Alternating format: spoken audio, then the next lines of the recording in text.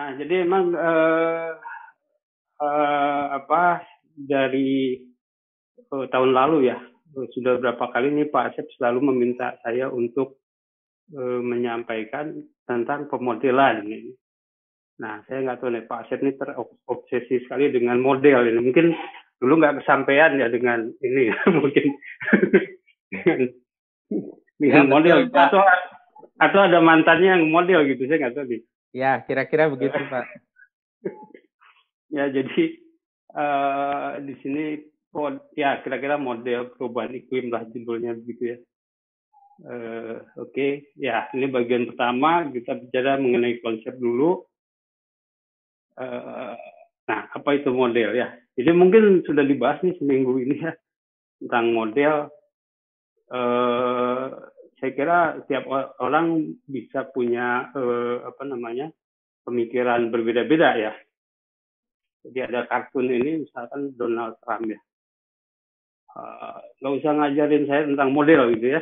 Ini karena istrinya tuh model. Ya model fashion. ini.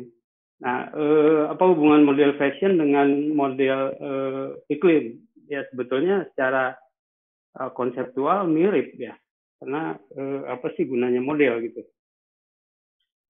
uh, model ini eh, ya ya kalau kita bicara model fashion ada Yves Saint Laurent ya yang paling terkenal mungkin ya atau sangat terkenal ya. a good model can advance fashion by 10 years Nah, jadi uh, sama model uh, penyampa asep, model uh, macam-macam model itu uh, menggait kita untuk mengambil uh, keputusan ya. Dan uh, mungkin tidak sekarang, mungkin bisa beberapa tahun mendatang gitu. Uh, tapi artinya uh, model yang baik adalah sesuatu yang bisa meyakinkan uh, kita ya dalam uh, suatu pengambilan keputusan. Uh, dan uh, sebelum saya bicara lebih lanjut, ini ada kata-kata bijak tentang model dari ahli matematika ya. Uh, the purpose of models is not to fit the data, but to sharpen the question. Di sini saya akan menggarisbawahi uh, kata-kata ini ya, to sharpen the question. Jadi mempertajam pertanyaan. Jadi bukan malah jawaban ini model ini, tapi justru mempertajam uh, pertanyaan. Oke, sekarang uh, kalau kita bicara model iklim, yaitu adalah, adalah model matematika ya, atau mathematical model. Nah, mungkin uh, kita mengenal di kuliah ya, kalau yang kuliahnya uh, apa namanya MIPA atau teknik, uh, saya kira uh, kita pernah bereksperimen dengan ini ya, uh, bandul. Ya, sini, nah, uh, ada yang kita observasi di dalam eksperimen ini apa misalkan uh, ya. Jadi misalkan uh, ini simpangan sudut simpangan atau jarak simpangan bandul ini kemudian juga periode ya. Uh, periode dari bandul dilepaskan kembali lagi ke posisinya. Nah uh, kalau kita memikirkan model ini yang ini simpel seperti ya permasalahan yang simpel ini cukup sudah cukup kompleks ya. Kita harus memahami konsep mengenai uh, fisika.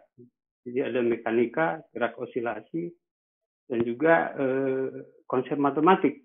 Kita harus mengenal apa yang disebut kalkulus.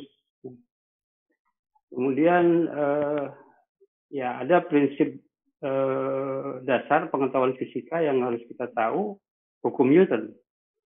Ya, F sama dengan M kali A itu gaya sama dengan masa kali percepatan. Ya, mungkin kita juga memerlukan prinsip-prinsip uh, lain ya. Kekekalan massa, energi, dan juga kesetimbangan ya. Kesetimbangan atau keseimbangan. Nah, eh, lalu model ini diformalkan ya dengan simbol-simbol matematik. Nah, eh, jadi kita bisa analisis eh, keseimbangan gaya di situ dan sebagainya, lalu muncul dengan uh, persamaan ini. Ya, ini adalah persamaan osilasi harmonik. Dan di matematik, dari matematik kita tahu solusinya adalah persamaan uh, fungsi sinusoidal seperti ini. Ya, ini akan memberikan nilai periodik, perubahan yang periodik uh, dengan frekuensi sudut ini. Nah, kalau kita ingin menghitung, maka kita mengoperasionalkan model ini. Kita memberikan input, lalu ada proses perhitungan, lalu kita mendapatkan output. Uh, mungkin kalau kita menggunakan program komputer, kita perlu coding gitu. Nah, di sini apa pertanyaan yang bisa lebih uh, dipertajam ya, dari model ini? Banyak sebetulnya. Mungkin Anda bisa menanyakan itu bandul bisa berhenti nggak? Karena kalau dari persamaan ini nggak bisa berhenti, ini akan terus saja sampai kiamat ya. Uh, akan nilainya fluktuasi aja gitu. Uh, tapi biasanya pertanyaan umumnya adalah ini seberapa akurat modelnya. Dan di situ ada uh, verifikasi kita ingin tahu seberapa cocok model dengan pengamatan. Nah, dan juga mungkin eh, perlu ada kalibrasi kalau ketidakcocokannya cukup besar tapi sistematis kita bisa melakukan kalibrasi. Uh, nah, pertanyaan lain adalah kalau kita uh, membuat bandul yang lebih kompleks bagaimana? Jadi ini ada bandul, tapi di sini besi bandulnya, di sini ada magnet. Kita lihat geraknya. Oh ini geraknya sangat kompleks. Jadi dengan menambahkan degree of freedom uh, sedikit saja, bandul ini bisa sangat kompleks gerakannya dan sulit diprediksi. Uh, nah ini uh, gerak ini uh, apa ini adalah non linear ya. Nanti kita akan bahas lagi bahwa uh, solusi dari uh, persamaan non linear bersifat chaotic. Okay. Nah, kalau kita uh, bicara mengenai model iklim, uh, apa sedikit memperkenalkan dulu sejarah. Ya. Nah, ide mengenai model iklim itu uh, dimulai dari tahun 1904. Ya uh, ada namanya Wilhelm Bjerknes itu uh, seorang Norwegia yang menerbitkan uh, makalah jurnal ya, uh, ini dalam bahasa Jerman judulnya uh, seperti ini tapi pada waktu itu kesimpulan dari uh, beliau sendiri uh, dengan persamaan matematika yang di uh, apa namanya dipikirkan itu solusi solusinya impossible tidak ada solusi Eh, kenapa? Karena uh, tidak mungkin dipecahkan secara analitik. Nah, uh, pada tahun 1922 ada seorang Inggris bernama Louis Richardson ini yang uh, memikirkan metode lain, yang disebut metode numerik. Ya, tadi Pak Asep juga sudah menyinggung ya metode numerik. Nah, dengan menerapkan metode numerik, tapi pada waktu itu belum ada komputer, jadi uh, pakai tangan gitunya ya eh, jadi dikerjakan dalam waktu dua minggu dan salah. Ya. Nah, beliau waktu itu memikirkan bagaimana caranya supaya lebih cepat ngitung. Ya meskipun salah, tapi ingin lebih cepat. Itu dengan mengumpulkan orang di satu stadion ini ya, ribuan gitu. Tapi itu satu hal yang mustahil. Nah, perkembangan selanjutnya itu tahun 1950 dan di sini ada John von Neumann uh, dari di Amerika dia uh, berhasil uh, melakukan eksperimen numerik pertama ya dengan menggunakan komputer ya mungkin generasi pertama ya pada itu yang disebut ENIAC. Ya, komputernya sebesar rumah tapi kecepatannya uh, seperti kura-kura mungkin ya kalau di sekarang dengan bandingkan dengan uh, handphone sekarang itu akan eh, apa jauh sekali. Nah, tapi pada waktu itu kemudian eh, apa ini membuat ide eh, seorang yang bernama Rosby, orang Swedia ini membuat ya, prediksi cuaca yang pertama menggunakan model komputer. Nah, jadi ide eh, ini eh, benar, ya. ya bisa memprediksi cuaca dengan uh, komputer. Tapi perlu 50 tahun ya untuk mewujudkan itu. Tapi ini belum apa-apa karena ide Einstein tentang uh, black hole misalkan itu baru 100 tahun bisa diamati ya. Uh, jadi hal yang biasa di dalam ilmu dan teknologi. Nah, sekarang kalau kita bicara model matematika, aspek yang kedua itu adalah aspek deterministik. Ya. Nah, ini permasalahan matematiknya seperti ini. Kalau kita punya persamaan yang menggambarkan laju perubahan, maka solusinya adalah integrasi. Kalau ini diferensiasi, ini integrasi numerik. Kita bisa mengintegralkan uh, suku sebelah kanan ini untuk mendapatkan nilai di masa depan uh, yang tidak diketahui. Nah ini adalah uh, data yang harus diketahui ya pada saat sekarang gitu. Nah, model ini deterministik karena akan menghasilkan satu nilai. Ya. Tapi uh, kebenaran dari nilai itu tergantung dari prediktabilitas sistem. Nah, kalau uh, sistemnya linear, ya seperti bandul tadi, meskipun ini ada turunan kedua ya dalam kalkulus ini, tapi sifatnya linear. Karena tidak ada perkalian variabel bebas. Nah ini sifatnya sangat predictable, prediktabilitasnya tinggi. Jadi kalau Anda hitung, uh, theta ini akan uh, akurat ya dalam bahasa uh, sehari-hari. Tapi bagaimana kalau non linear persamaannya? Nah, ini biasanya dalam bentuk sistem persamaan seperti ini. Nah, ini persamaan non linear seperti ini akan uh, sulit ya uh, diprediksi uh, hasilnya.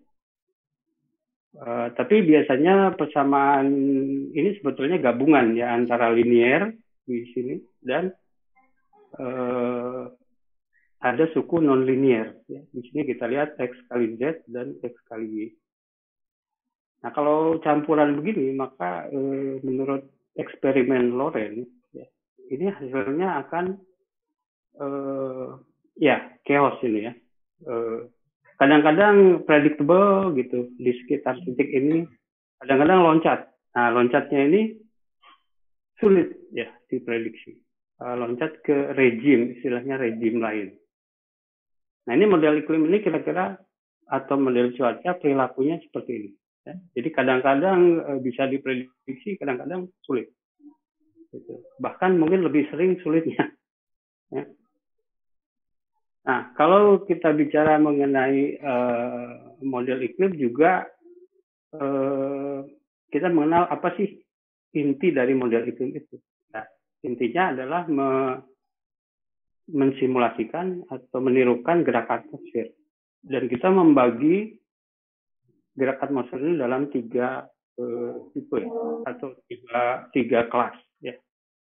Yaitu mean flow atau aliran rata-rata, Nah, ini adalah aliran atau uh, katakanlah kalau kecepatan angin ini berubahnya sangat pelan ya, relatif uh, sangat lambat. Bahkan bisa kita anggap konstan untuk waktu tertentu. Nah, lalu yang kedua, yang kedua adalah gerak gelombang, uh, osilasi dan gelombang. Dan gelombang ini banyak sekali ya di atmosfer ini uh, ribuan jutaan mungkin gelombang. Uh, nah ini masalahnya kalau linear gelombang ini tambah gelombang ini tambah ini nggak masalah. Tapi tidak linear ini bisa terjadi ini kali ini dan seterusnya ya. Mungkin tiga suku dikalikan dan seterusnya. Nah ini contoh dari pengamatan gelombang dari satelit ya di atmosfer seperti ini. Jadi kalau gelombang laut kan gampang ya di ini kalau di atmosfer ini eh, gelombangnya hanya bisa di indera dengan alat khusus ya. Uh, ini sensor uh, AIRS namanya. Nah ini di uh, atmosfer bagian atas lebih kelihatan. Ya, jadi ini ada pola merah biru merah biru. Ini bisa temperatur atau kecepatan anginnya. Nah ini juga sampai ke lapisan yang sangat tinggi. Uh, ada gelombang itu di mana-mana. Nah, ini di lapisan ionosfer namanya. Nah, ada eh, ini dilihat dengan menggunakan data TEC ya, eh, apa total elektron content. Nah, Yang ketiga, klasifikasi gerak yang ketiga itu turbulen. Ya. Uh, nah, saya kira di pemodelan lingkungan ini uh, banyak ya uh, faktor turbulen ini uh, harus diperhitungkan karena ada dispersi polutan dan sebagainya. Uh, nah, turbulen ini gerak acak ya. Uh, mungkin sudah tahu uh, seperti ini kalau kita lihat ya geraknya acak. Jadi kalau kita X-ray, kita rata-ratakan dalam waktu, misalkan itu dia ada pola. Jadi gerak acak ini mengikuti pola aliran dasarnya. Ada aliran bin flow ataupun mungkin mengikuti gelombang itu. Nah ini kalau dalam waktu kita uh, fix di satu posisi, kita amati terhadap waktu, uh, ini adalah gerak uh, rata-ratanya ini uh, gerak uh, turbulennya ya. Nah, jadi turbulen ini bisa memindahkan energi dan materi. Itu yang penting. Nah, sehingga tidak bisa diabaikan. Jadi, tiga kelompok gerak atmosfer ini direpresentasikan dengan suatu persamaan umum yang disebut persamaan Navier. Nah, ini uh, gaya, eh sorry, percepatan sembelungan gaya-gaya yang bekerja. Sebetulnya sama saja ini menggunakan hukum Newton. Tapi uh, persamaan ini non-linear dan merupakan salah satu uh, persamaan yang disebut uh, millennium uh, problem. Ya.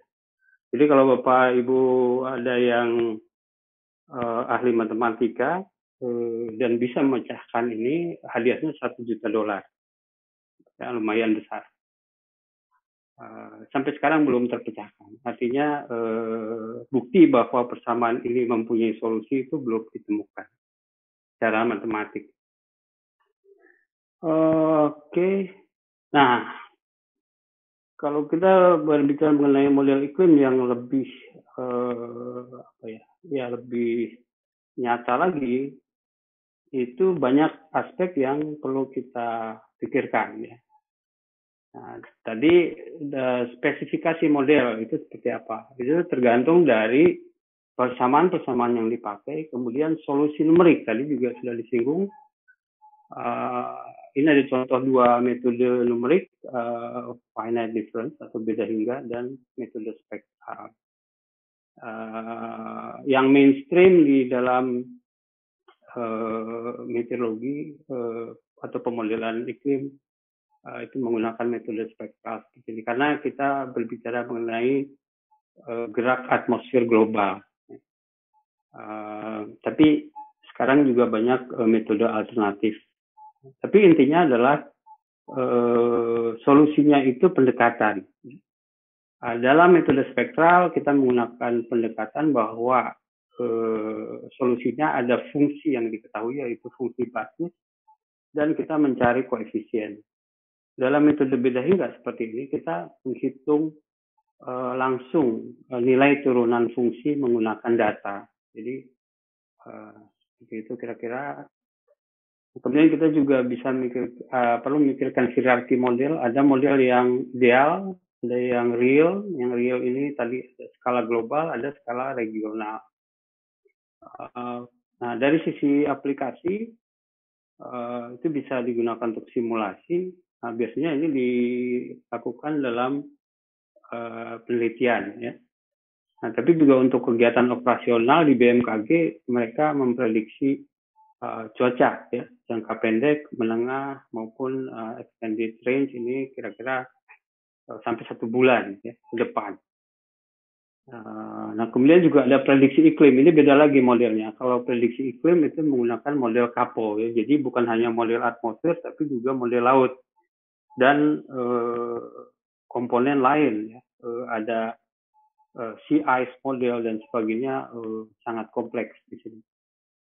Nah, lalu dalam konteks perubahan iklim uh, ada juga uh, proyeksi iklim namanya. Jadi kalau perubahan iklim 100 tahun ke depan itu tidak bisa diprediksi tapi diproyeksikan. Nah, bedanya apa dengan prediksi? Di situ ada skenario ya. Ada skenario yang diskenariokan adalah uh, emisi CO2 global. Apakah uh, tinggi, rendah, sedang. Kemudian juga dari model global kita biasanya perlu uh, menerapkan namanya downscaling.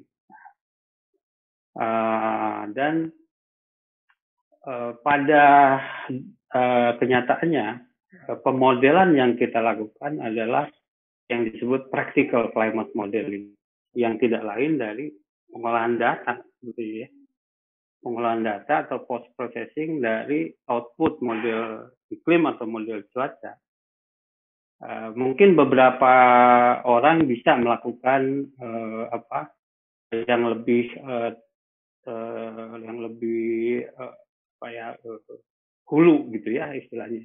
Uh, kita melakukan downscaling dan sebagainya. Tapi untuk sebagian besar orang mungkin cukup dengan melakukan practical climate modeling ini. Jadi kita mengolah data dari model iklim untuk berbagai keperluan Nah, ini yang sebetulnya uh, ketika saya diminta bicara model ini oleh Pak Asep selalu uh, sakitnya tuh di sini gitu istilahnya. Nah, kenapa? Karena kita di Indonesia sulit melakukan pemodelan yang benar gitu. Kenapa? Karena fasilitasnya nggak ada.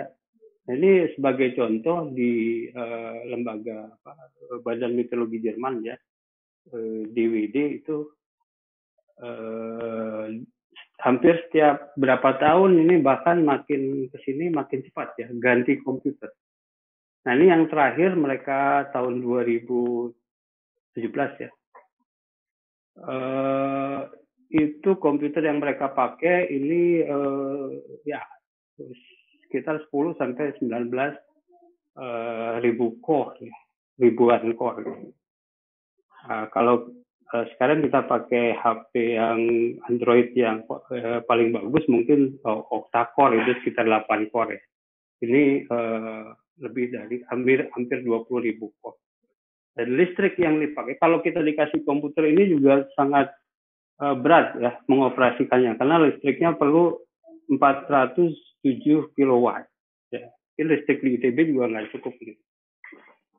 Nah, Uh, tapi apa uh, keuntungannya dengan menggunakan fasilitas yang uh, super komputer seperti ini adalah uh, dulu model iklim itu resolusinya itu satu gridnya itu sebesar ini.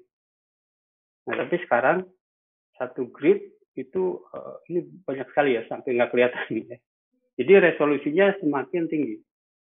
Artinya jumlah informasi yang kita dapatkan dari model ini akan makin banyak. Lalu akurasi. Nah, kalau kita bicara akurasi itu masalah perhitungan ya. Perhitungannya pasti bisa lebih akurat ya, lebih benar.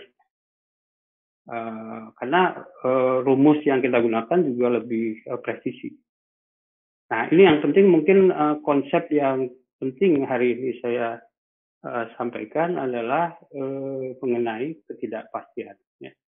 Uh, dan dengan komputer yang uh, powerful sekarang kita bisa melakukan apa yang disebut uh, ensemble modeling. Nah, apa itu ensemble modeling? uh, Oke, okay, sebelum itu uh, saya ingin membahas dulu mengenai uncertainty, ya ketidakpastian. Uh, karena harus dibedakan dengan ketidakjelasan, ya ambiguity. Nah, kalau kita ingin uh, mungkin ini ada seseorang ingin membeli kucing, gitu, uh, tentu dia akan datang ke pet shop. Tapi uh, apa yang didapatkan di pet shop ini tergantung kepada informasi uh, dan juga uh, proses pengambilan keputusan dia sendiri. Ya. Nah, kalau dia punya informasi tentang uh, spesialis, mungkin toko uh, spesialis gitu, uh, spesialis meng, uh, menjual kucing hitam. Uh, hampir 100% mungkin dia akan dapat kucing uh, hitam putih. Tapi kalau perginya ke toko yang biasa, ya mungkin ada uh, sekitar 40%, tapi mungkin yang 40% ini habis itu. Uh, dia bisa mendapatkan warna lain. Nah ini yang eh, dihindari adalah eh, pergi ke toko yang nggak jelas ya. Ya udah kita punya kucing gitu. Tapi begitu dibawa kita nggak tahu nih kucing dalam karung ya sih. Nah memang ini ada risiko dan eh, Nah, ini ada eh, apa peribahasa dari perapatan Ciamis ya dari, dari Prancis. Nah, ini kira-kira kalau diterjemahkan itu uh, hidup itu bukan menghindari badai ya, tapi uh, uh, penari di bawah hujan gitu kira-kira ya. Uh, artinya secara spiritnya itu kita harus mengambil resiko. Tapi kalau kata anak muda sekarang enggak gini juga gitu ya. Nah, ini namanya nekat ya, bukan uh, risk taking ya. Uh, jadi untuk bisa memahami risk itu kita perlu uh, konsep yang jelas. Nah di dalam uh, risiko iklim kita harus menghadapi ketidakpastian. Bagaimana cara kita menghandle ketidakpastian adalah dengan menggunakan ensemble tadi. Jadi kita tidak cukup menjalankan model itu satu kali. Karena apa? Karena initial condition yang kita dapatkan itu bisa eh, tidak akurat. Jadi ada berbagai kemungkinan nilai awal yang harus kita akomodir di sini. Nah, sehingga biasanya kalau kita menggunakan satu model itu bisa aja eh, modelnya ke sini, eh, pengamatannya di sini, eh sorry, aktualnya di sini. Tapi kalau kita punya banyak model, kita rata-ratakan, eh, mungkin kita dapatnya di sini, lebih dekat dengan pengamatan. Nah, secara statistik dari ensemble model ini kita harus mendapatkan namanya uh, probability density function. Uh, uh, fungsi kerapatan peluang ya mungkin uh, kalau teman-teman matematika. Nah, kita bisa mendapatkan dari klimatologi, artinya pengamatan yang panjang. Kita bisa juga mendapatkan dari uh, forecast, dari uh, model tadi. Nah, dengan membandingkan ini kita paling tidak bisa mengatakan bahwa uh, oh nilainya akan bergeser ke kanan atau ke kiri atau ya sama dengan klimatologinya. Nah, eh, kenapa harus ensemble? Karena tadi ketidakpastian di dalam model iklim itu bersifat intrinsik. Jadi nah, istilah eh, awamnya itu bawaan orok gitu ya. Kalau intrinsik itu eh, nggak bisa dihilangkan dia Eh, dan juga bervariasi terhadap ruang dan waktu. Eh, makin jauh biasanya makin besar eh, ketidakpastiannya karena ada error growth.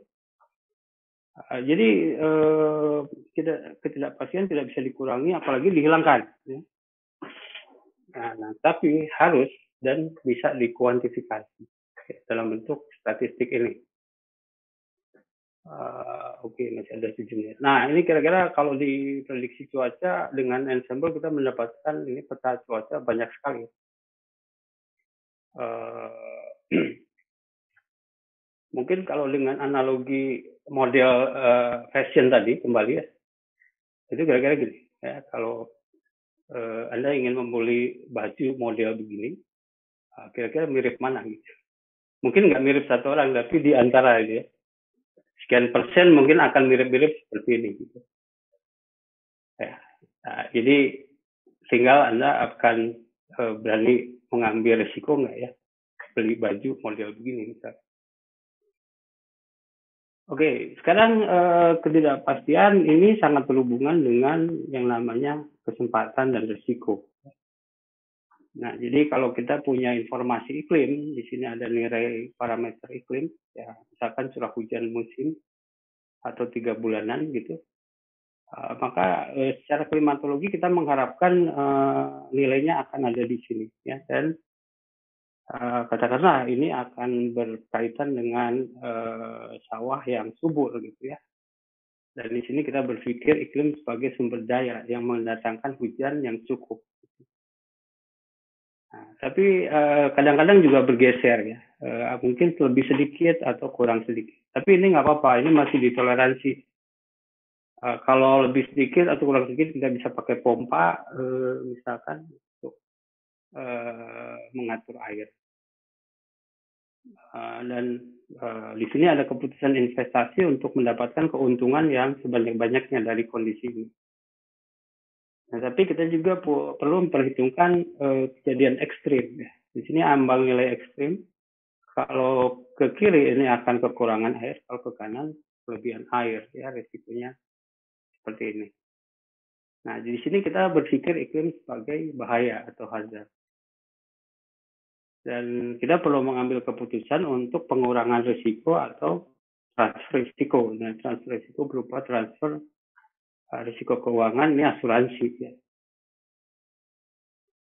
Seberapa besar nilai ini? Nah, ini memerlukan estimasi berdasarkan peluang dampak iklim. Nah, jadi kalau untuk aplikasi kita tidak cukup mungkin informasi iklim, tapi perlu juga informasi mengenai dampak iklim.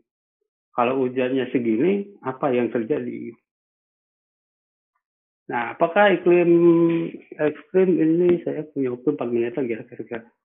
Uh, apakah iklim ekstrim ini uh, hanya ada sekarang ya karena perubahan iklim? Ya tidak, ini dari zaman dulu juga ada. Ini laporan orang Belanda ya uh, kadang hujan itu uh, cepat, kadang lama gitu.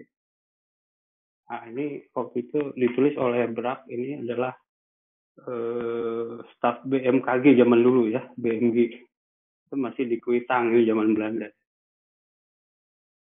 Uh, nah penyebab dari ini saya tidak akan bicara banyak ya tentang iklimnya sendiri ini uh, apa namanya ada berbagai fenomena. Ini monsun misalkan yang utama kemudian ada Enso mungkin yang sudah diketahui ada El Nino La Nina uh, ada Indian Ocean Dipole dan di sini ada MJO ya Median Julian Oscillation. Uh, ini dalam waktu 60 hari kadang-kadang ada uh, ya gangguan yang bergerak semacam ini. Lebih basah lebih kering dan sebetulnya banyak sekali fenomena yang uh, bahkan sebagian besar mungkin belum kita paham. Oke, okay, uh, eh, sekarang model resiko iklim. Nah ini sebenarnya tidak bisa cukup hanya uh, mengandalkan model iklim karena uh, tergantung dari sektor. Misalkan pertanian padi, ya kita harus memahami juga uh, sensitivitas padi terhadap iklim seperti apa. Jadi ini ada kajian orang Myanmar uh, tentang efek banjir terhadap padi ini kalau kerendam satu meter kerusakannya sekian persen gitu ya kira-kira seperti itu. Nah sebenarnya model iklim itu hanya sampai sini ya memprediksi atau memperkirakan hujan yang akan terjadi eh, mempersiapkan untuk model lain ya model dampak. Nah untuk pemodelan dampak iklim sendiri kita memerlukan ahli dari uh, sektor ya Ya, ini mungkin uh, rumus yang umum seperti ini risiko adalah peluang kejadian dikalikan impact. Jadi kalau ini peluang kejadian dari banjir ini, impact-nya adalah ini. Nah, ini formula lain itu uh, risk adalah hazard dikurangi eh dikali uh, kerentanan. Dan uh, exposure ini disebut juga elemen risk. Nah, masalahnya sekarang percaya nggak kita kepada uh, prediksi atau prediksi iklim? Uh, dengan probabilistik itu uh, sifatnya kemungkinan. Jadi uh, kemungkinan itu bisa dari 0 sampai 100 persen. Nah, tapi kalau uh, apa ingin mengukur ini ada uh, guidance dari WMO ya. Uh, harus dilihat karakter uh, apa atribut ya. Nah, bagaimana mengeceknya ini ada perhitungannya. Tapi satu hal itu uh, verifikasinya itu hanya bisa statistik. Jadi kalau bapak ibu pakai informasi iklim sekali dan gagal, itu nggak bisa menjudge bahwa informasi ini uh, nggak benar gitu. Ini harus berkali-kali uh, sampai kita mendapatkan satu kesimpulan statistik. Nah ini contohnya untuk uh, model uh, operasional ya nah ini di BMKG itu pakai uh, keluaran namanya ECMWF, ya, European Center for Middle Range Weather Forecast. Ini uh, dia mendapatkan 51 ensemble members. Tapi biasanya uh, kesalahannya itu ada dua yang uh, tipikal itu bias. Ini perbedaan antara observasi dengan rata-rata um, ensemble dan dispersion error. Ini adalah spread dari uh, distribusi ini beda dengan klimatologi. Nah, jadi diperlukan kalibrasi. Ini saya sudah 9.30, Mbak Novita bisa tambah 5 menit lagi? Ya, boleh Pak, boleh. Silakan Pak. Oke, ya. Nah, jadi uh, tadi banyak sekali ukurannya yang perlu kita lihat, tapi salah satunya ini disebut reliability. Nah, ini ada uh, apa uh, teman dari BMKG yang kebetulan uh, baru selesai S2 di IPB dan uh, di bawah bimbingan saya uh, mengerjakan kalibrasi ini. Nah, dia meneliti ini awalnya kalau kita menggunakan langsung dari model global yang uh, dari sini, itu tidak reliable sama sekali. Bahkan ada yang kategorinya itu dangerously useless. Jadi hati-hati menggunakan model ini kalau tidak dikalibrasi bisa malah berbahaya untuk mengambil keputusan. Nah, setelah dikalibrasi lumayan lah gitu ya. Nah, ini ada yang masuk kategori perfect, uh, artinya sangat berguna. Nah, sekarang uh, mungkin ini yang menjadi pertanyaan uh, banyak orang ya Eh, bagaimana dengan perubahan iklim. Nah, tapi saya ingin membahas dulu iklim itu ilmu atau isu. Nah, kalau dari sudut pandang kami eh, ilmu iklim, ya yang masalah itu ini, ya iklim masa lalu bagaimana sekarang, yang akan datang bagaimana. Dan eh, kalau kita ketahui semua ini, kita akan mengetahui mengenai perubahan iklim. Nah ini dari data, ini dari model ya. Nah, kalau isu perubahan iklim itu ada dua ya, mitigasi dan adaptasi. Mitigasi itu pengurangan gas rumah kaca, adaptasi ya tadi bagaimana e, menghindari dampak buruk dari adanya perubahan iklim. Nah, kami e, bekerja menyediakan istilahnya itu science basis ya, dasar ilmiah untuk membahas mengenai dua isu ini. Nah, pembahasannya sendiri secara detail memerlukan ilmu-ilmu lain ya. Mungkin ada engineer seperti Pak Asep, ada perencana dan sebagainya, keuangan gitu. Ya ilustrasi perubahan iklim ini uh, apa? Lalu saya pakai gambar ini, tapi uh, biasanya saya saya pakai fotonya Chris Dayanti. Saya ganti ini via Valen sekali ini. Karena Ibu Chris Dayanti sudah menjadi anggota DPR, ada ngeri juga ya uh, nah ini dulunya gini ya jadi kita tahu dia berubah ya uh, mungkin ada yang penasaran nih bagaimana perubahan ke depan ya uh, dalam istilah iklim ini baseline ada baseline satu baseline dua dan uh, dari perubahan ini kita bisa mengetahui perubahan baseline-nya seperti apa dan kalau kita punya proyeksi kita akan bisa memperkirakan bagaimana perubahan selanjutnya. Oke, dalam uh, kasus perubahan iklim, apa yang kita lihat adalah distribusi tadi. Ya, distribusinya ini berubah atau enggak ya dalam dua periode iklim. Nah, masalahnya satu periode iklim itu 30 tahun. Nah, jadi kalau kita ingin tahu perubahan baseline, minimal kita harus punya data 30 tahun. Kemudian secara top down ini menggunakan data proyeksi iklim, ya kita bisa mengetahui mungkin 30, 50 sampai 100 tahun ke depan. Uh, dari mana skenario? Nah ini kan penting skenario ya. Ada skenario emisi. Nah sekarang itu menggunakan uh, istilahnya RCP ya, Representative Concentration Pathways. Yang rendah, yang sedang, dan yang tinggi. Nah, uh, kenapa konsentrasi CO2 mempengaruhi pemanasan? Nah karena dia mempengaruhi radiasi. Ya. Uh, kalau radiasi berkumpul di suatu lapisan atmosfer, dia akan menyebabkan pemanasan. Kalau radiasi berkurang akan menyebabkan pendinginan. Nah, ini tadi CO2 di sini eh, termasuk yang mengumpulkan radiasi gelombang panjang, jadi dia menambah pemanasan. Nah, istilahnya radiative forcing di sini. Eh, sekarang ada skenario ini. Nah, eh, dengan skenario itu dijalankanlah model iklim tadi ya. Model iklim itu banyak sekali di sini. Tapi masalahnya resolusi yang paling tinggi itu masih lebih dari 100 km. Nah, eh, juga eh, dibagi dua ya, ada namanya historical run, ada yang proyeksi. Jadi ini bisa kita gunakan untuk melihat kecocokan antara model dengan pengamatan. Yaitu biasanya tergantung dari daerahnya. Uh, untuk daerah tropis ini uh, sudah ada yang meneliti ya kira-kira konfigurasinya seperti ini ya. Ada yang model yang dekat, ini menggunakan namanya diagram Taylor ya. Uh, nah, tadi karena resolusinya itu kasar, ya, kita perlu melakukan downscaling. Nah, downscaling ini ada dua tipe, yang dynamical kita menggunakan model yang kompleks tadi atau dengan statistical menggunakan prinsip uh, hubungan antara prediktor ya, dari model dan uh, prediktan dari observasi. Nah ini juga macam-macam. Ada banyak sekali metode statistik, bisa regresi, ada analog, uh, ada juga hanya menggunakan koreksi bias. Nah, saya kira uh, saya kira materi saya sampai di situ dulu ya. Eh, nanti mungkin bisa kita lanjutkan dengan diskusi.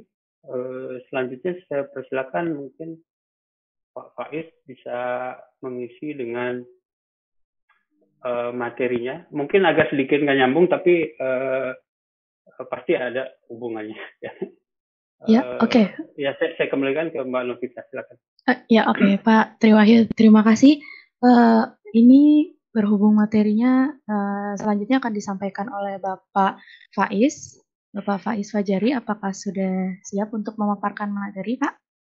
Iya, Mbak. Ya, oke. Untuk uh, pertanyaan nanti akan uh, dibacakan pada sesi akhir setelah materi, pemaparan materi dari Pak Faiz Fajari. Uh, untuk Bapak dan Ibu sekalian yang berada di Zoom meeting ini bisa menyampaikan pertanyaannya via chat grup yang ada di Zoom dan untuk para audiens yang ada di YouTube bisa menyampaikan pertanyaan melalui kolom komentar yang nanti akan dibantu oleh para tim untuk uh, disampaikan kepada forum di room Zoom ini. Mungkin seperti itu. Apakah ada tambahan dari Pak Seth? Uh, nggak ada. Uh, Patri masih bisa sampai jam berapa, Patri?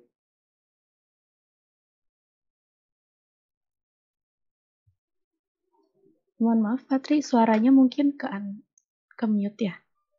Uh, ya, sorry. Uh, kalau diperlukan masih sampai jam 10, Pak. Oh, oke. Okay. Takutnya nanti ada pertanyaan yang ke Pak Tri. Terima kasih, Pak Tri. Ya, eh sorry, jam berapa sih ini? Terakhirnya 10.30. Uh, sesi terakhir 10.30, Pak. Uh, oh, iya. Udah iya. include pertanyaan, tanya jawab. Ya, ya. Saya ya, bisa ya. Uh, sampai Sampai ya. sesi akhir ya, Pak ya. Ya, terima kasih, Pak ya, Tri. terima kasih, Pak Tri. Monggo Mas Faiz Fajari, saya serahkan. Ya, uh, Bismillahirrahmanirrahim. Assalamualaikum warahmatullahi wabarakatuh. Selamat pagi semuanya. Selamat pagi, Mas. Uh, terima kasih atas waktunya. Uh, kemarin Pak Tri mengajak saya untuk uh, mengisi materi tentang pengolahan data proyeksi iklim. Jadi ini materi saya. Uh, ya, apakah sudah bisa terlihat uh, share screen dari saya? Ya, terlihat terlihat Mas Faiz di saya. Oke, okay, uh, baik, uh, ya kita akan belajar tentang uh, menganalisis proyeksi data iklim. Kita akan melihat bagaimana distribusi data dari periode baseline dan periode proyeksi. Nah, uh, untuk baseline sendiri di sini saya mendefinisikan waktunya dari tahun 81 sampai 2010, jadi 30 tahun baseline. Kemudian untuk periode proyeksi sendiri juga 30 tahun dari 2011 sampai 2040. Nah, untuk data baseline-nya ini ada berbagai sumber data bisa dari uh, satelit ataupun dari observasi permukaan stasiun. Nah, untuk satelitnya sendiri ini saya menggabungkan dari dua data. Pertama adalah TRIM, karena ini relatif baru, datanya dari tahun 98 sampai 2015. Cuman resolusi waktunya tinggi, 3 jam. Kemudian ada juga data Aphrodite, ini relatif lebih panjang periodenya dari tahun 51 sampai 2007. Uh, ini periode waktunya harian, jadi saya menggabungkan dua sumber data ini karena baseline-nya dari tahun 81 sampai 2010. ya tentu saja eh, data satelit ini sudah eh, kami koreksi dengan menggunakan eh, data observasi permukaan yang bersumber dari BMKG dan Pusat Air. Nah ini merupakan web untuk kita bisa mengunduh datanya. Kalau tertarik bisa memasuki web ini.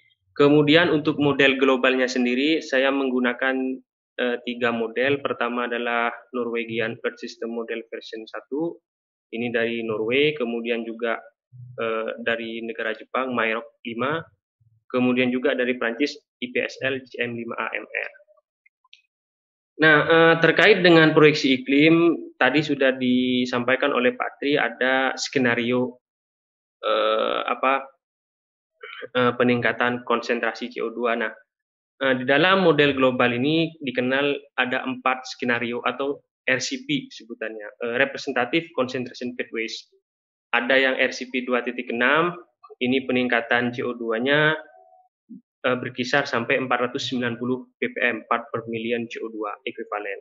Ada skenario RCP 4.5, ini skenario peningkatan CO2 lebih tingginya, kemudian RCP 6, yang terakhir RCP 8.5, ini peningkatan uh, konsentrasi CO2 yang paling tinggi. Biasanya RCP 2.6 itu uh, dikenal juga dengan istilah skenario yang optimis, karena peningkatan CO2-nya paling kecil.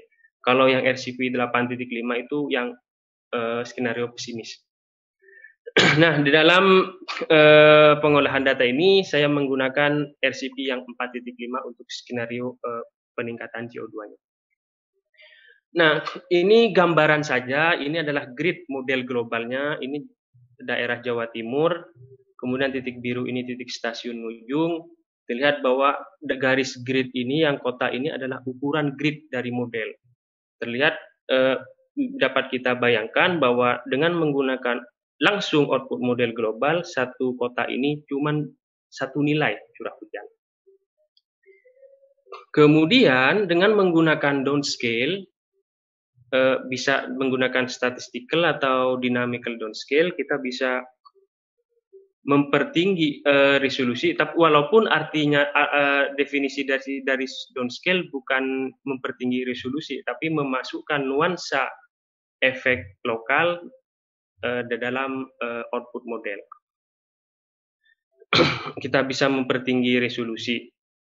Nah, kemudian uh, ini adalah contoh uh, gambaran nilai curah hujannya setelah dilakukan downscaling. Nah, uh, downscale sendiri adalah upaya untuk menjembatani kesenjangan antara efek global dan efek lokal. Kemudian Nah, ini uh, kita langsung aja uh, ke pengolahan data. Ini analisis proyeksi dari distribusi data. Tujuannya adalah memplot distribusi normal curah hujan, baseline dan proyeksi hasil downscaling. Nah, dalam hal ini saya melakukan statistical downscaling. Kemudian datanya saya menggunakan data hujan bulanan di stasiun Ngujung tadi di daerah Jawa Timur. Uh, tools yang saya gunakan yang simple saja Microsoft Excel. Nah, langkahnya adalah eh, pertama adalah menyiapkan set data curah hujan untuk baseline dan proyeksi tadi. Kalau baseline baseline dari observasi, kalau proyeksi dari output model yang sudah dilakukan eh, statistical downscaling. Kemudian memilih salah satu set data, misalkan untuk baseline tersendiri dulu dikerjakan, baru setelahnya eh, ke proyeksi eh, model. Pertama, karena nilai curah hujan itu banyak nilai kecilnya ya, nilai nol gitu banyak. Pertama kita buang dulu nilai nol uh, karena kita menggunakan pendekatan distribusi normal. Sebenarnya kalau curah hujan sendiri uh, distribusinya adalah gamma, distribusi gamma.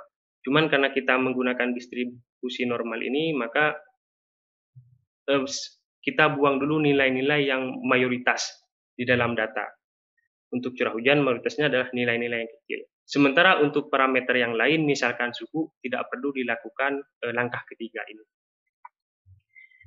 Selanjutnya mengurutkan data dari yang terkecil ke terbesar.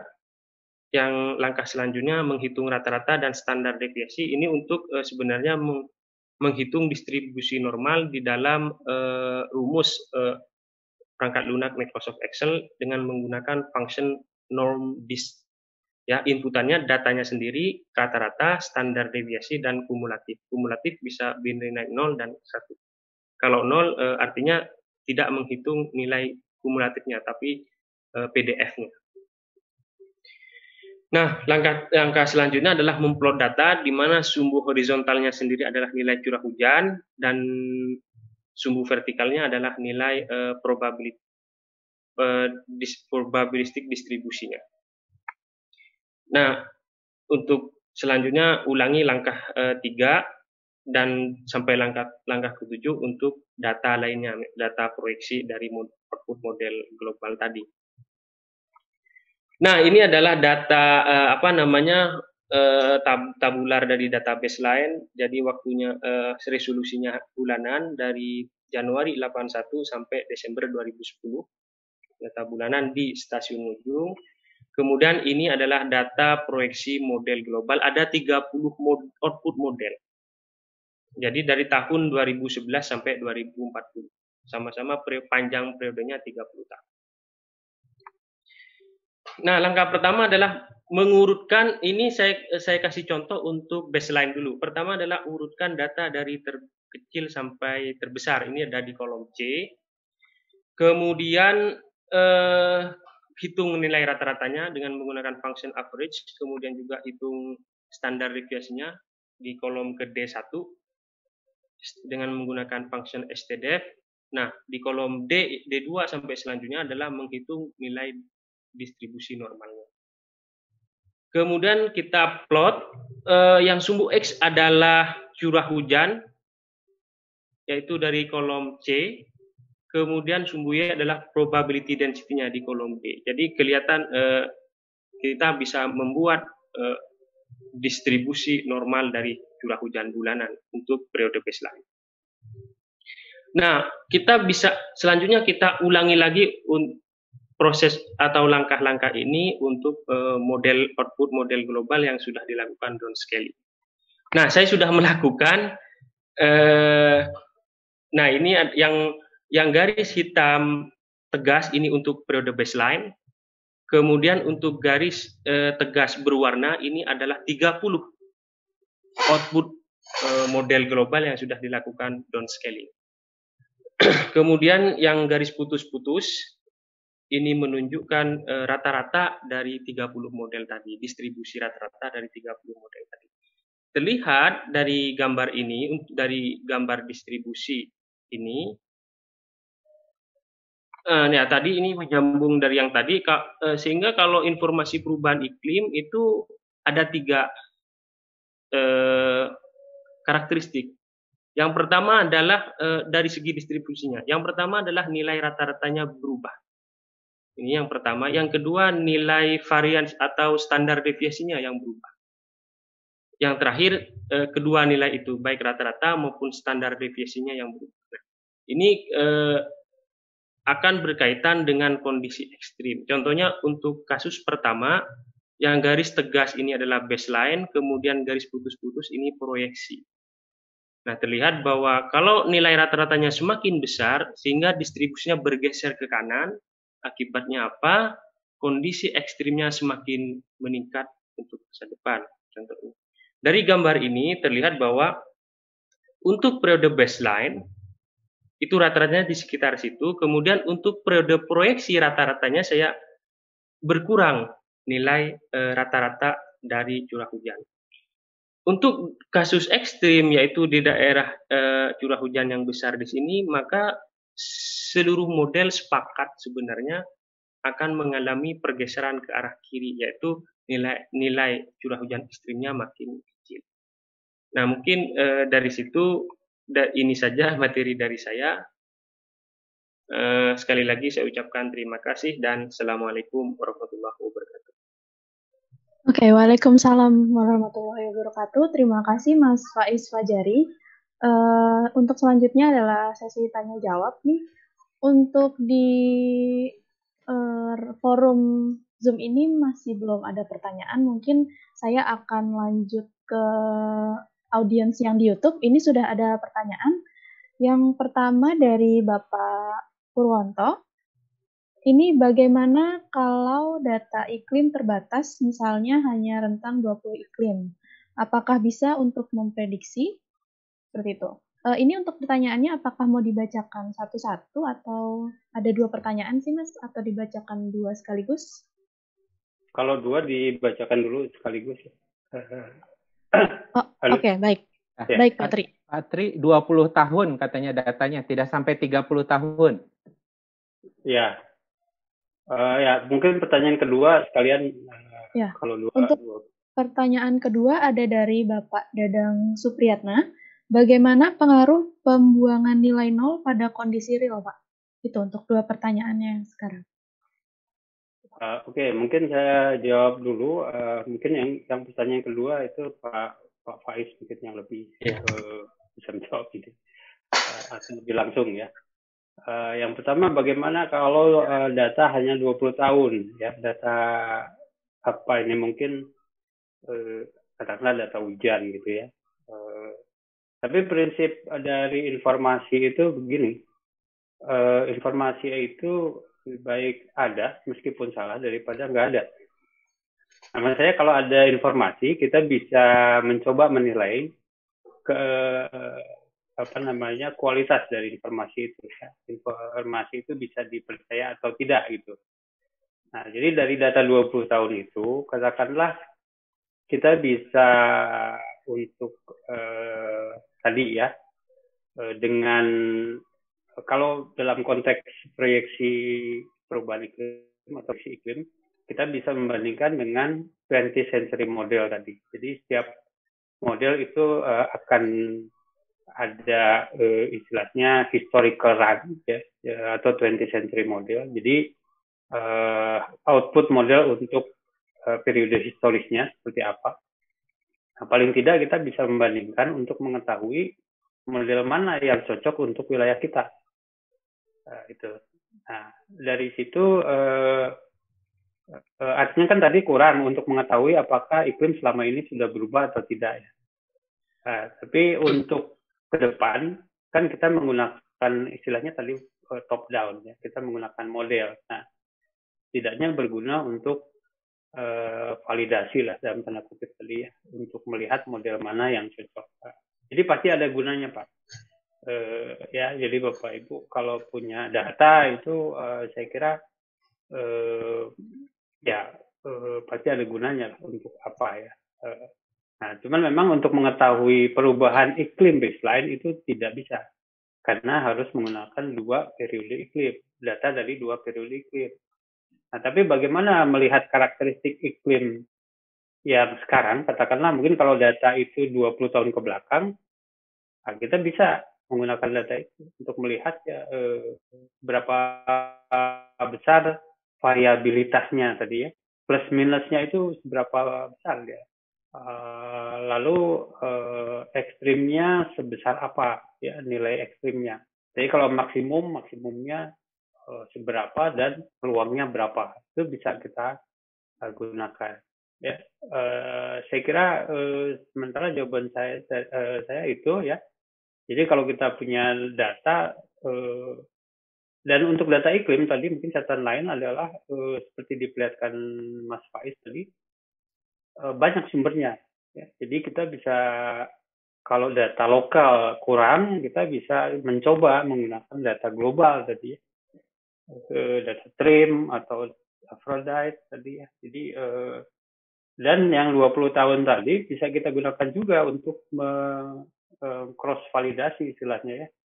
Uh, kalau ternyata cocok data global tadi uh, polanya cocok, ya bisa kita gunakan Nah, gitu ya. Jadi uh, saya kira data sepanjang apa pun itu pasti ada gunanya. Uh, sementara itu Mbak Novita. Oke, baik Pak Tri Wahyu. Uh, untuk yang jawaban kedua. Ya, terima kasih Mbak Novi. Jadi pertanyaannya ya. adalah bagaimana pengaruh uh, pembuangan nilai nol pada data curah hujan? Ya, uh, tentu saja ini akan uh, pembuangan nol ini membuat uh, si distribusinya tidak akan sesuai dengan distribusi empirisnya. Nah, ini juga pendekatan sebuah pendekatan dengan menggunakan distribusi normal. Namun biasanya uh, untuk curah hujan itu yang paling sering dianalisis adalah nilai ekstrim yang tinggi. Sehingga walaupun pembuangan nilai nol ini dilakukan, tetap distribusi perubahan terhadap nilai ekstrim yang tinggi tadi bisa dianalisis.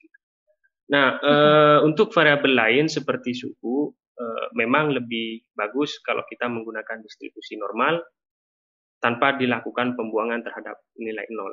Ini khusus curah hujan saja karena saya menggunakan pendekatan distribusi normal. Kalau menggunakan distribusi uh, yang lain gamma itu saya kira tidak perlu dilakukan pembuangan nilai nol. Ya. Oke, terima kasih Mas Faiz Fajri atas pemaparannya dan juga Pak Triwahyu. Untuk pertanyaan selanjutnya ini ada dari forum grup Zoom ini Pak, dari hmm, Bapak Suaranya Zuri. hilang Mbak. Halo? Halo, apakah suara saya terdengar Pak Tri? Halo? Suaranya Mbak Novita eh, di saya oh. nggak kedengeran. Nggak kedengeran ya? Suara saya terdengar nggak, Pak Tri? Sekarang bagaimana, Pak? Pak Pak Triwahyu, monitor? Suara saya terdengar nggak, Pak Tri? Ya. Oke.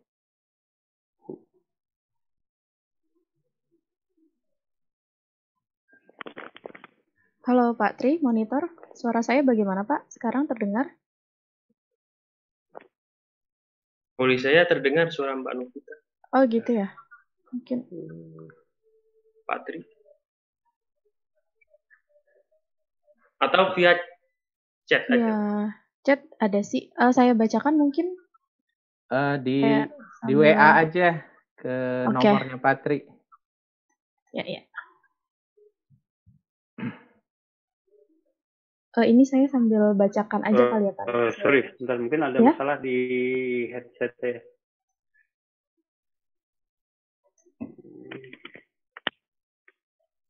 Hanya Mbak Novita. Ya. Ya.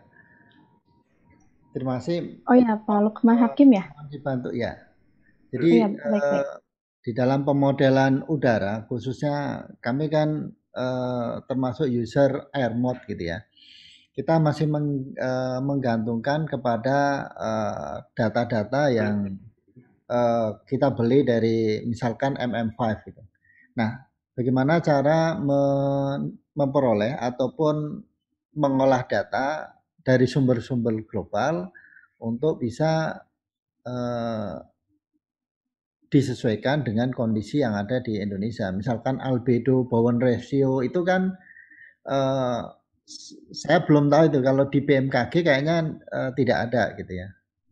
Sedangkan kalau kita menggunakan data global, apakah ini uh, cocok sesuai dengan kondisi uh, lokasi yang akan kita modelkan? Terima ya, kasih. Terima kasih Pak Lukman.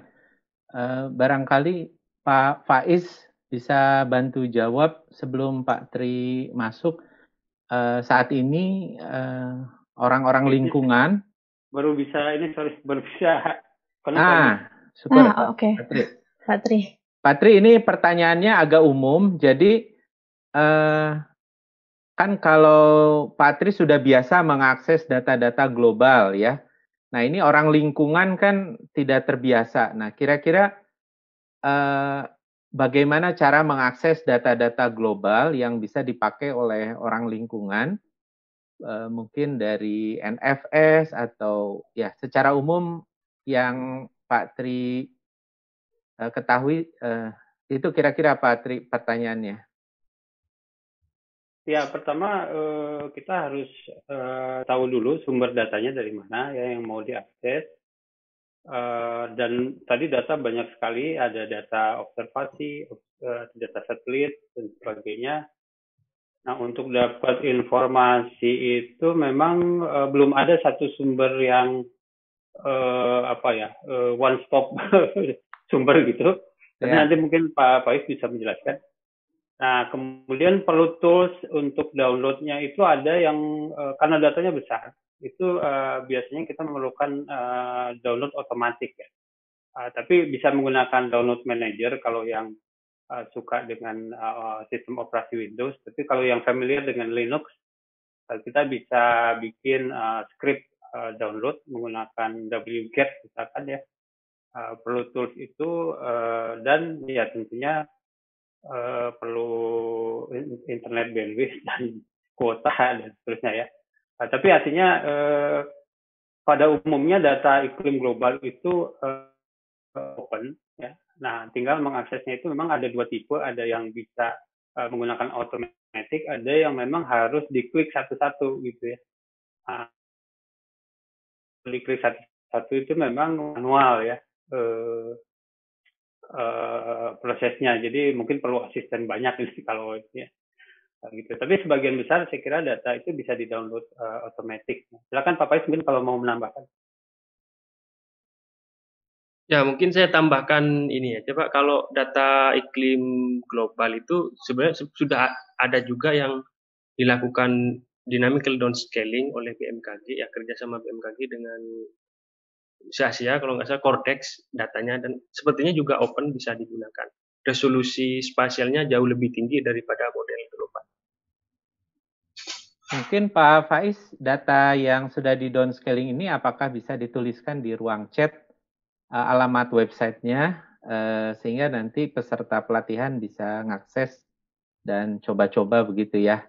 Ya, atau mungkin bisa didemokan di misalkan web ini di sub apa gitu lebih baik. Ya, uh, karena materi itu belum disiapkan. Mungkin nanti kita oh, gitu.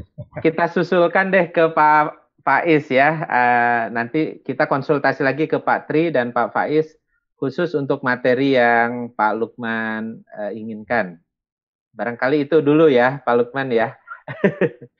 Oke, ada lagi itu pertanyaan di ruang pelatihan mungkin Mbak Novita bisa dibacakan. Ya. Terima kasih Ini ya ada... Pak Lukman ya. Ya, silakan. Oke, terima kasih Pak Asep. Terima kasih juga untuk Pak Lukman atas pertanyaannya.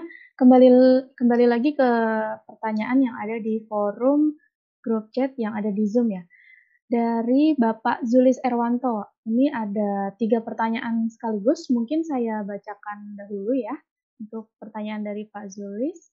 Uh, pertanyaan untuk Pak Triwahyu. Ini mohon penjelasan terkait perbedaan parameter pemodelan yang dibutuhkan untuk simulasi atau prediksi cuaca dan untuk simulasi atau prediksi untuk iklim. Lalu untuk pertanyaan ke, kepada Pak Faiz, Mohon penjelasan terkait pemakaian data curah hujan untuk pemodelan untuk pemodelan yang paling efektif, apakah menggunakan total curah hujan ataukah menggunakan data curah hujan maksimum. maksimum. Lalu untuk pertanyaan ketiga dari Pak Zulis juga untuk kedua pemateri, bagaimana pengaruh letak atau jarak dari stasiun klimatologi atau sangkar meteorologi terhadap pemodelan dalam iklim suatu daerah aliran sungai? Mungkin tiga pertanyaan itu dari Pak Zulis untuk di, bisa dijawab dulu. Ya, terima kasih. Ini pertanyaannya uh, lumayan langsung banyak. Uh, uh, mungkin tadi saya jawab yang nomor satu dulu ya, perbedaan ya. parameter parameter pemodelan cuaca dan iklim. Uh, Oke, okay. ini sebetulnya pertanyaannya agak sulit dijawab secara jelas ya, karena parameternya banyak sekali.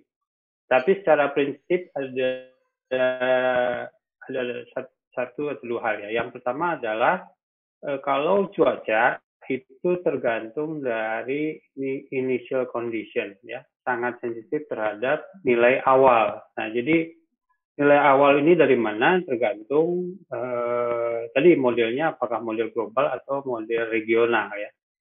Kalau model global itu jaringannya seluruh dunia eh, dan seluruh negara anggota WMO ya World Meteorological Organization itu mengirimkan data tiap harinya dan tiap tiga jam. Malah itu kita disebut data sinoptik. Ya, dan ini diolah di dalam uh, komputer yang dimiliki oleh pusat-pusat prediksi besar di dunia tadi. Uh, kalau di Amerika itu oleh NOAA ya dan uh, sebagainya uh, itu kemudian ada suatu teknik namanya asimilasi data. Ya. Jadi uh, data ini diproses demikian dibandingkan dengan hasil keluaran model sebelumnya, uh, lalu baru bisa digunakan sebagai nilai awal tadi ya. Nah itu untuk cuaca. Jadi yang penting adalah nilai awalnya harus bagus. Nah, kalau iklim itu ada nilai awal dan nilai batas atau boundary condition. Nah, boundary condition yang penting adalah eh, yang paling eh, besar pengaruhnya itu dari parameter laut. Ya, misalkan PSST. Ini dari mana? Ya bisa dari pengamatan, bisa dari model lagi, yaitu model eh, sirkulasi laut. Ya. Uh, your information unstable. Oke, mudah-mudahan masih bisa didengar dengan jelas. Uh, nah, jadi uh, kemudian uh, yang uh, lainnya adalah model iklim itu uh, tadi ya uh, couple sifatnya, jadi tidak model tunggal, jadi uh, melibatkan banyak model. Nah, tentu uh, parameternya lebih banyak yang diperlukan ya. Jadi, jadi bukan hanya SST, uh, konsentrasi S misalkan ya, konsentrasi itu tadi uh, gas di atmosfer itu juga turut berpengaruh ya. Kira-kira gambarnya seperti itu. Kemudian yang kedua itu spesifik buat Pak Faiz pertanyaannya. Yang ketiga letak stasiun ya, pengaruhnya terhadap pemodelan. Uh, kalau terhadap pemodelan mungkin uh, yang dimaksud adalah tadi ya, bagaimana uh, misalkan menganalisis uh, ketidakcocokan dan sebagainya ya. Uh, dan ini khususnya di dekat aliran sungai. Ya, ini akan Nah, secara umum begini, kalau observasi itu jarak antar stasiun itu ditentukan oleh variasi topografi. Nah, kalau di tempat datar itu jarak antar stasiun boleh sangat jarang, bisa 30 km. Nah, tapi kalau topografinya bervariasi eh, sangat terjal begitu, eh, itu bisa sampai eh, ya beberapa kilometer harus ada stasiun gitu ya. Jadi intinya eh, pengamatan itu eh, kerapatannya ditentukan oleh topografi. Nah, nah untuk eh, pemodelan tadi eh, tergantung ya. Kalau untuk eh, validasi tadi tujuannya itu eh, eh, tidak masalah mungkin karena satu dua stasiun eh, cukup ya untuk memvalidasi model. Nah, tapi kalau untuk input model beda lagi ya.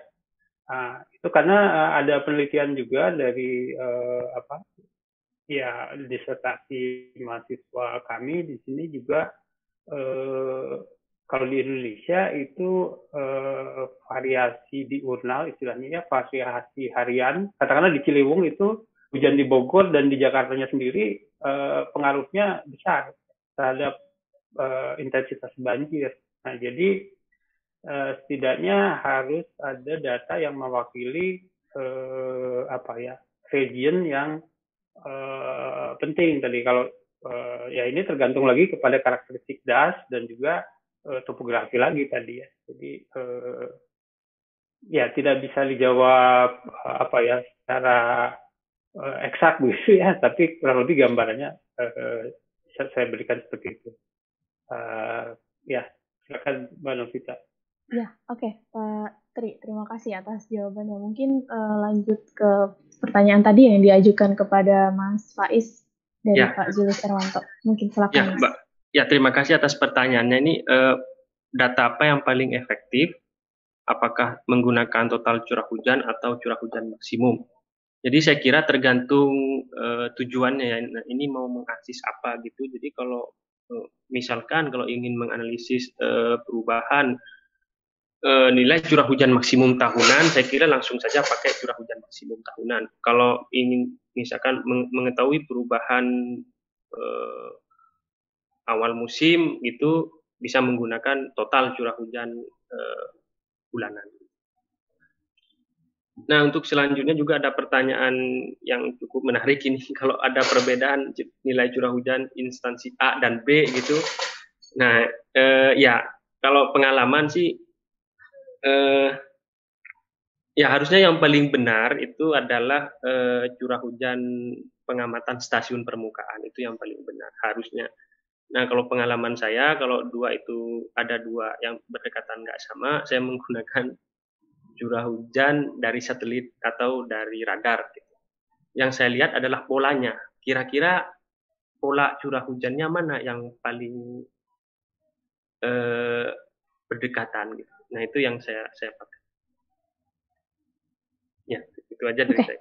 Oke, okay. nah itu sekaligus menjawab pertanyaan dari Pak Novan Satria yang mengenai uh, curah hujan di uh, stasiun A dan instansi B itu tadi ya Mas ya. Oke, okay. untuk pertanyaan selanjutnya uh, mungkin saya beralih dulu ke YouTube karena di sini uh, belum ada pertanyaan lagi ya di forum grup Zoom ini. Untuk pertanyaan yang di YouTube ada dari Ibu Indah D. Gunawan.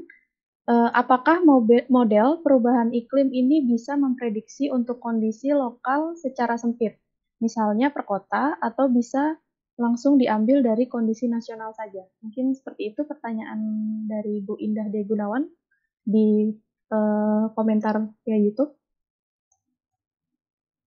Uh, ya baik uh, langsung uh, saya coba jawab. Mm -hmm. uh, mungkin kalau saya refresh pertanyaannya begini mungkin kalau saya ingin tahu prediksi iklim di suatu tempat gitu mungkin ya eh, apakah bisa menggunakan prediksi global tadi ya atau harus menggunakan prediksi yang lebih eh, khusus gitu uh, nah uh, memang secara prinsip uh, tadi ya ada namanya resolusi model jadi uh, satu data model itu mewakili uh, area seluas apa itu kita uh, harus melihat resolusi model tadi. Nah, jadi kalau model global itu biasanya resolusinya antara uh, 30 katakanlah sampai dengan 100 km gitu. Jadi satu data mewakili beberapa puluh kilometer persegi eh enggak malah uh, ratus kilometer persegi jadinya ya gitu dan juga informasinya yang kita bisa ekstrak itu Uh, katakanlah gini, kalau mau tahu besok hujan atau enggak, nah jangan pakai model iklim ya, karena itu bukan peruntukannya.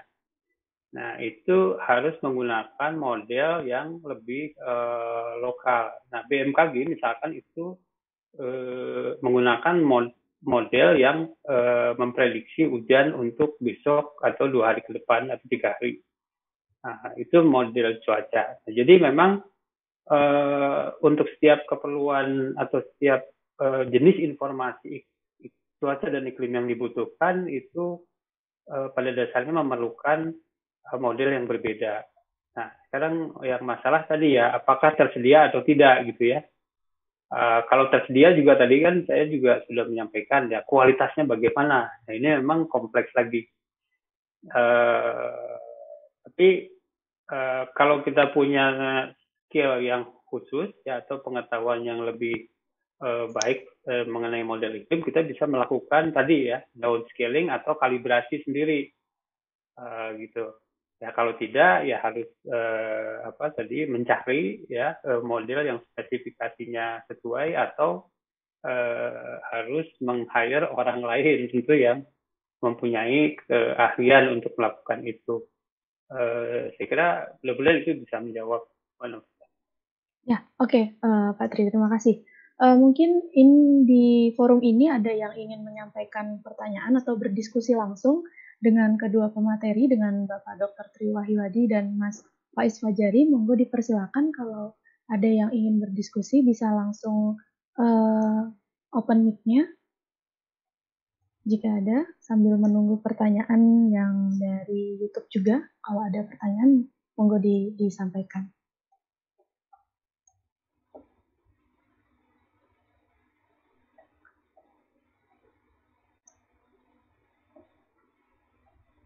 Mungkin Pak Lukman Hakim ingin berdiskusi kembali, Pak? Mbak Novi, saya boleh Mbak Novi? Oh boleh boleh, Pak Novan ya, Pak Novan ya. Satri. Uh, iya, terima kasih. Uh, izin menyambung dengan pertanyaan saya yang tadi, Pak Faiz, terkait dengan uh, mana data yang sebaiknya digunakan antara instansi A ataupun instansi B. Kan tadi Pak Faiz mengatakan uh, kalau terjadi dua perbedaan, maka saya menggunakan Eh, data dari satelit. Nah, dengan mengikuti pola yang terjadi di daerah tersebut. Nah, sumber pola yang menjadi acuan kita itu yang mana Pak gitu untuk menjadikan data yang akan kita gunakan itu memang sudah sesuai polanya dengan uh, yang ada di daerah tersebut. Ya, terima kasih. Ya, baik terima kasih Pak Novan Satria. Untuk Mas Faiz mungkin bisa dijawab. Ya, terima kasih atas pertanyaan Pak. Ya, uh, salah satu pola yang ini eh, misalkan pola te, secara temporal ya, misalkan eh, pola tahunannya. Kalau di daerah Jawa misalkan itu biasanya curah hujannya memiliki satu puncak itu dalam satu tahun satu lembah gitu. Apakah curah hujan stasiun kedua stasiun itu menunjukkan pola yang demikian? Gitu. Nah kalau resolusi temporalnya lebih tinggi, misalkan jam-jaman kita bisa lihat juga pola uh, hariannya. Gitu. Mana yang yang paling apa istilahnya ya? Uh, dari sumber-sumber itu yang paling sama gitu polanya. Misalkan di stasiun A uh, curah hujannya tinggi di bulan Februari, sementara di stasiun B tinggi di bulan Januari. Sementara dari semua sumber data yang lain, satelit dan radar menunjukkan pola paling tinggi di bulan Januari. Maka kita pilih saja, pakai saja uh, stasiun yang A tadi yang paling sesuai dengan uh, pola dari sem hampir semua data yang ditunjukkan. Okay. Ya, lalu uh, mungkin saya bisa menambahkan sedikit ya. Ya boleh uh, Pak, boleh. Jadi kalau ada dua uh, data yang berbeda atau dua informasi yang berbeda, uh, tentu uh, kemungkinannya adalah uh, dua-duanya benar. Bisa jadi dua-duanya benar. Karena di dalam uh, apa namanya uh, pengamatan iklim, uh, misalkan kalau yang satu stasiunnya di uh, apa namanya sebelah utara gunung gitu, yang satu di selatan gunung itu uh, meskipun jaraknya tidak terlalu jauh bisa sangat berbeda. Uh, tergantung dari aliran udaranya yang dominan ke mana gitu. Atau tadi bisa salah satu yang benar satu salah gitu. Ya salahnya mungkin karena instrumennya rusak atau apa. Nah tadi bisa dicek dengan pola yang uh, lebih uh, di daerah yang lebih luas gitu. Ya dan pada prinsipnya kalau daerah lebih luas uh, pola yang akan mirip adalah yang lebih panjang. Jadi tadi pola tahunan atau pola beberapa tahun gitu ya itu akan bisa dilihat kalau salahnya konsisten juga bisa kita lihat bahwa perbedaannya itu akan selalu mirip gitu ya eh, deltanya.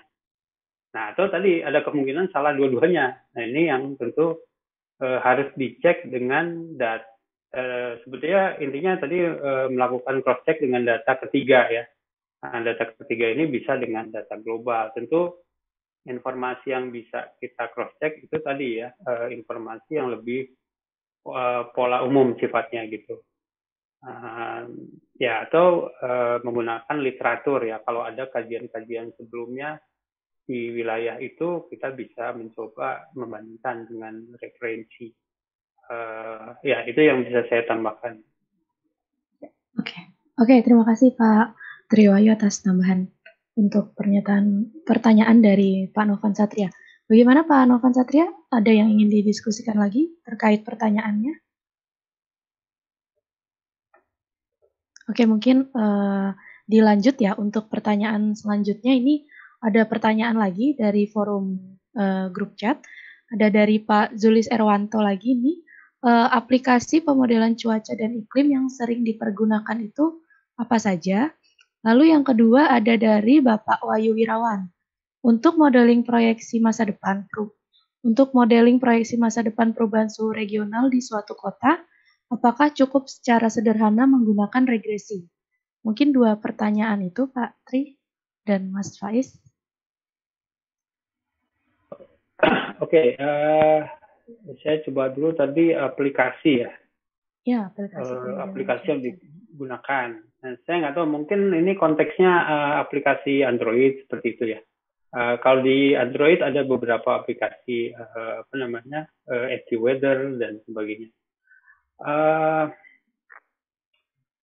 uh, ya, memang sampai saat ini saya kira tidak ada satu aplikasi pun yang uh, bisa menyediakan ya semua kebutuhan informasi yang kita perlukan. Nah, untuk uh, informasi cuaca harian ya baik itu apa namanya sifatnya kondisi cuaca saat ini uh, atau prediksi satu dua hari ke depan itu uh, saya kira aplikasi yang ada di Android itu uh, sekarang sudah cukup bagus ya karena biasanya mereka menggunakan prediksi global yang free access. Jadi atau juga mungkin kalau seperti uh, AccuWeather dia punya kontrak khusus dengan NOAA untuk mendapatkan model yang lebih uh, teliti ya lebih apa resolusi tinggi dan sebagainya.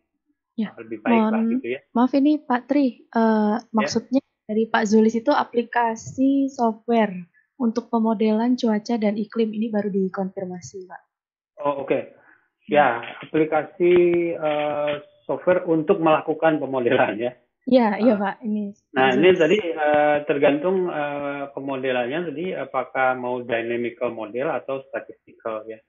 Uh, kalau dynamical model untuk model global ini uh, tidak ada ya uh, software yang uh, umum begitu. Ini uh, yang punya code-nya itu adalah pusat-pusat uh, prediksi uh, besar ya, uh, seperti NOAA, JME tadi uh, Jerman tadi uh, Australia mungkin punya model global. Jadi kalau kita ingin menggunakan model global mereka itu uh, nggak tahu biasanya nggak dijual juga sih. Tapi ada juga yang dijual dari UKMO misalnya.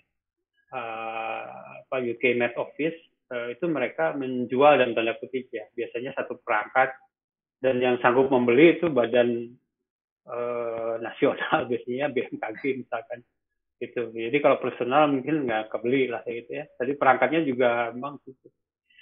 Nah kalau untuk pemodelan regional uh, ini uh, cukup banyak ya uh, yang yang free uh, dan bisa kita gunakan untuk uh, belajar maupun untuk uh, apa aplikasi uh, langsung ya pemanfaatan uh, langsung di lapangan uh, itu ada yang paling terkenal sekarang atau paling sering digunakan itu yang kita sebut WRF ya atau WARF disebutnya ya Nah, WAF itu uh, kira banyak digunakan oleh mahasiswa uh, tidak hanya dari meteorologi tapi juga di mungkin teknik lingkungan dan sebagainya juga uh, banyak yang menggunakan ya.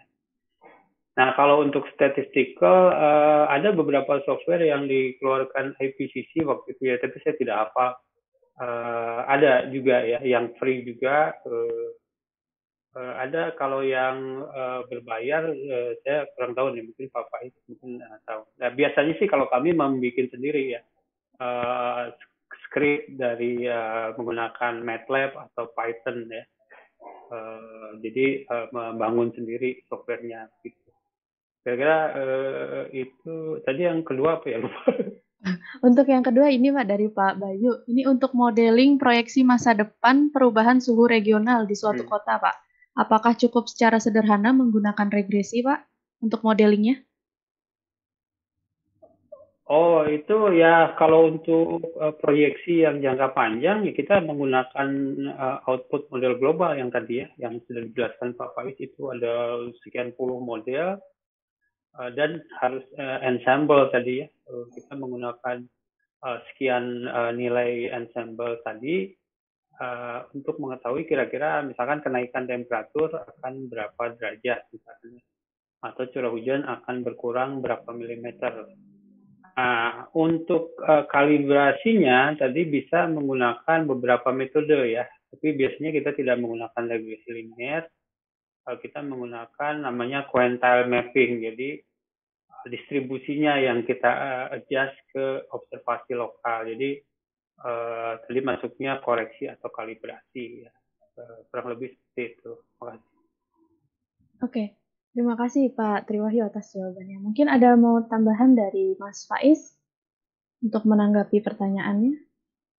Ya, uh, untuk uh, ya uh, untuk downscaling sendiri kami kalau saya pribadi itu sangat uh, pengalamannya di statistical downscaling uh, dan itu saya belum uh, selama ini saya tidak pakai aplikasi tertentu gitu. Jadi kalau statistical downscaling ini memang terkenal dengan metode dengan seribu cara. Jadi ada banyak uh, metode untuk melakukannya. Yang, yang sederhana mungkin ya regresi, regresi atau constructed analog gitu. Jadi kami membangun sendiri uh, script atau coding untuk melakukannya. Ya. Oke. Terima kasih uh, Mas Faiz atas jawabannya. Ini ada lagi pertanyaan dari Ibu Nuzula Elfa Rahman untuk Pak Triwahyu. Ini saya ingin tahu pendapat Bapak dari sisi pemodelan iklim, terutama dari aspek ketidakpastian, Pak. Mengenai laporan IPCC yang menyatakan bahwa pada tahun 2030, ambang batas planet bumi akan terlewati, yang konsekuensinya bersifat irreversible. Itu, Pak. Jadi, uh, ingin mengetahui tanggapan Bapak mengenai pernyataan dari IPCC tersebut, Pak. Uh, baik, saya uh, tidak terlalu hafal itu uh, statementnya ada di mana ya.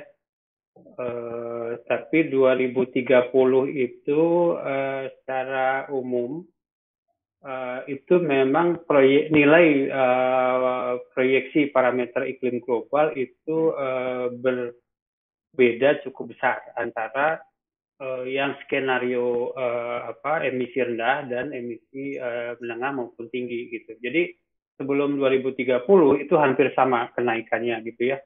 Katakanlah kalau temperatur itu uh, mencapai uh, 0,5 atau uh, di bawah 0, eh di bawah 1 derajat. Nah, tapi di setelah 2030 itu uh, hampir semua model itu uh, terlihat berbeda ya. Ketika emisi rendah itu katakanlah naiknya satu derajat, kalau emisi yang tinggi itu bisa naik dua derajat begitu. Uh, mungkin konteksnya seperti itu ya. Saya uh, mencoba menangkap esensi dari pertanyaannya. Terima kasih. Ya, terima kasih Pak Tri. Uh, mungkin di sambil menunggu ada pertanyaan yang lainnya, jika ada yang ingin menyampaikan di forum untuk berdiskusi ataupun bertanya kepada Bapak Dr. Tri Wahyu Hadi dan juga Mas Faiz, uh, dipersilahkan. Untuk selanjutnya mungkin Pak Asep ada yang ingin disampaikan? Ya, Mungkin ini ada pertanyaan uh, Pak Tri. Kalau kita mau memanfaatkan data uh, yang apa? Kan data itu banyak ya. Uh, nah, kira-kira uh, langkah pertama ini ngecek ke mana dulu gitu. Ini untuk untuk pemula ya, untuk pemula ingin mengetahui data itu kan levelnya banyak uh, untuk pemula itu kira-kira uh, bagaimana Pak Patri? Uh, Oke okay, ya. Yang paling jelas sih satu pertama cek BMKG ya. Ada nggak punya data yang di, kita inginkan gitu, kita perlukan.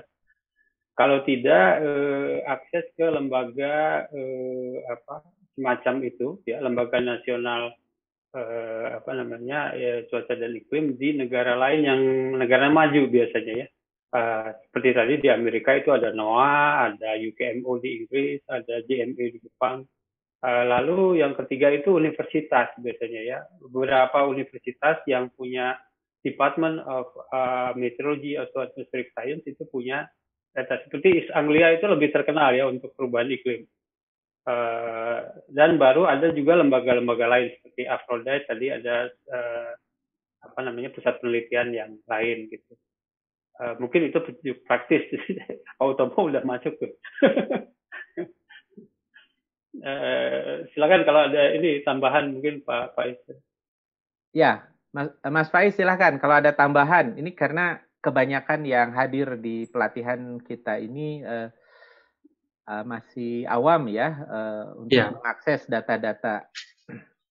Ya, uh, untuk ya yang paling benar tadi saya sudah bilang bahwa data permukaan dan untuk Indonesia sendiri yang berwenang itu kan sebenarnya BMKG. Uh, yeah. Mereka menaruh uh, apa namanya data di stasiun lah istilahnya. Yeah. Jadi bisa langsung ke mereka. Uh, bisa langsung minta kalau tidak salah ya ke ke BMKG atau BMKG sebenarnya sudah punya portalnya sendiri bisa di download datanya uh, yeah. data online BMKG ketika aja di Google yeah. kita bisa uh, apa namanya mengajukan data itu itu untuk stasiun nah untuk spasial sendiri biasanya sih dari data satelit ya uh, dan itu saya kira sudah open access kita bisa mendownload tinggal knowledge aja kalau menggunakan itu bisa pakai trim atau Aphrodite atau ya chips gitu. Itu ya. Pak dari saya Pak. Ya, terima kasih banyak uh, Mas Faiz. Ini karena sudah mau sesinya Pak Utomo ya, Profesor Utomo. Mohon uh, Pak Tri barangkali ada closing remark untuk uh, menutup sesi Pak Tri dan Pak Faiz. Ya, uh, terima kasih Pak Sep atas kesempatannya ini. Uh, seperti tadi uh, saya sebetulnya selalu uh, bingung kalau harus berbicara tentang ini, apalagi uh, saya bukan anak medsos begitu ya. Jadi uh, menghadapi teman-teman yang dari umum ini uh, bingung ya apa yang mau disampaikan. Tapi dengan sekelumit tadi uh, ya sharing uh, yang saya sampaikan mudah-mudahan ada hal-hal yang bisa ditangkap dan bermanfaat gitu aja Pak. Terima kasih. Ya, luar biasa ya Pak Tri ya. Ini apresiasi banyak sekali dari YouTube juga dari rekan-rekan pelatihan di PSLH saat ini. Terima kasih kembali. Uh, eh ya, artinya terima kasih banyak Pak Tri uh, dan juga Mas Faiz ya sudah berbagi dari sejak jam 9. Kami akan undang lagi Pak Tri jangan bosan-bosan nanti kalau saya undang lagi. Uh, ya, ya. ya saat ini saya melihat Profesor Utomo telah hadir, barangkali bisa dinyalakan videonya dan mikrofonnya, Profesor Utomo. Ini suatu kehormatan, Profesor Utomo adalah dekan di Sekolah Bisnis dan Manajemen ya, sangat sibuk beliau, tetapi memberikan waktunya untuk kita semua, baik pemirsa yang ada di YouTube maupun di ruang pelatihan. Uh, Oke, okay. tadi juga Pak Manahan sudah saya lihat sudah ini ya Eh, barangkali Profesor Utomo atau Pak Dr. Manahan jika mendengar suara saya bisa langsung berkomentar saja di di ruang Zoom ini. Oke Pak, terima kasih. Ini saya terima WA dari Pak Utomo ada gangguan koneksi. Ya, tadi sudah masuk ya, tapi keluar lagi Pak Utomonya karena ada gangguan koneksi. Ya. Ya. Tapi kita tunggu sebentar lagi Pak ya. Oh baik baik. Ya. Ya. Nanti kita putar lagi. Pak Sep, uh, uh, maaf saya mungkin harus uh, pamit dulu uh, dan Bapak Ibu sekalian uh, salam untuk uh, Profesor Utomo ini teman sekolah di Jepang waktu itu bareng-bareng yeah. satu asrama. Mau disampaikan saja salam ya. Ya, ya. ya. Baik, Patri. Baik, terima kasih, terima kasih banyak, Patri. Patri Wahyu Hadi dan Mas ya. Faiz Fajari. Thank you.